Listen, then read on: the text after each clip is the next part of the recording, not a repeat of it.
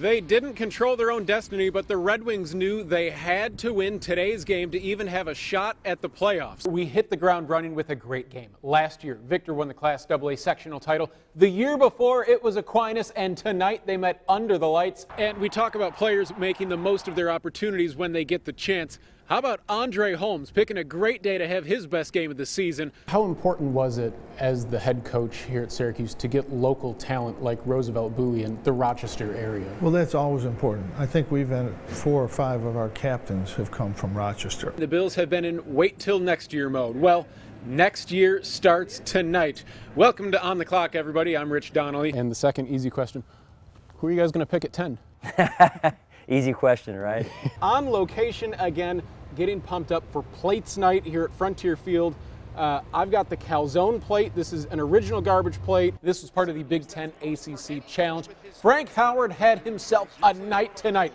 Give me that. Steals the ball in the first half. He's heading the other way. 15 points, seven steals for Howard in the ball game. He messed around and nearly got a triple double because he also had 10 assists. This one going to Pascal Chukwu for the jam. The game is tied in the second half. Balanced scoring from the Orange tonight. Oshae Brissett drives. He's fouled, and the shot falls in. Two of his 15 points. Brissett and Boeheim fired up. The Orange take the lead. Maryland's Kevin Huerter is from Clifton, New York, pulling up from practically Tupper Lake. He was 7 of 9 from deep for a game high 23 points. Maryland takes the lead with less than two minutes to play. When the Orange need a bucket, they go to Tyus Battle from deep buckets. The sophomore had a team high 18 points.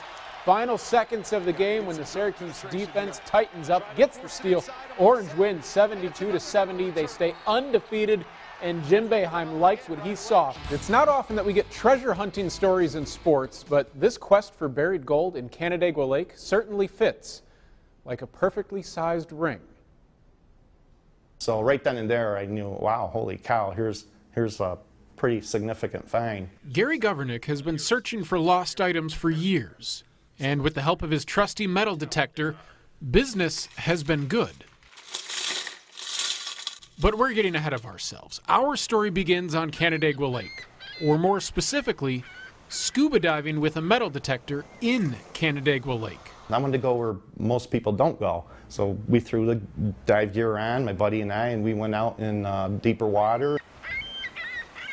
On a day off around the 4th of July, Governick and a friend went diving with a metal detector. They weren't looking for anything in particular, but one item caught Governick's eye. And I was just kind of um, scooting back towards the boat with him, and bing, bing, bing, I get that uh, nice signal I like to hear in my headphones, and I'm like, wow, this could be something good. There it was, a ring. I bring it up to the top of the surface with my buddy and show it to him, and we start rubbing it and looking at it. We're like, holy cow, this, this is more than just, just a ring. This is something that is sentimental to somebody um, that lost it. It's a Hall of Fame ring.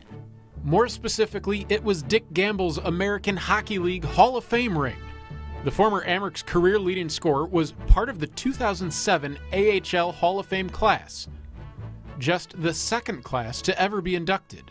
But unlike many of the other rings he's found throughout the years, Governick does not want to keep this ring.